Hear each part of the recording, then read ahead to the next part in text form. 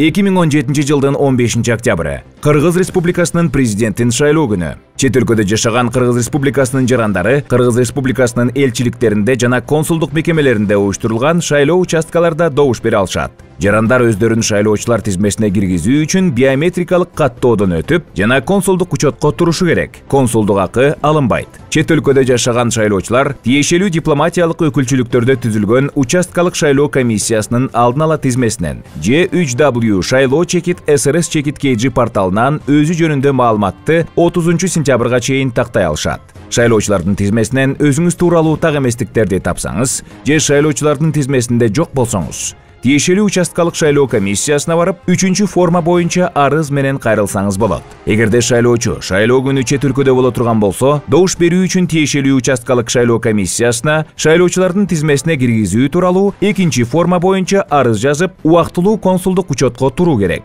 Кыргызстандын татыктуу келечеги үчүн добуш берели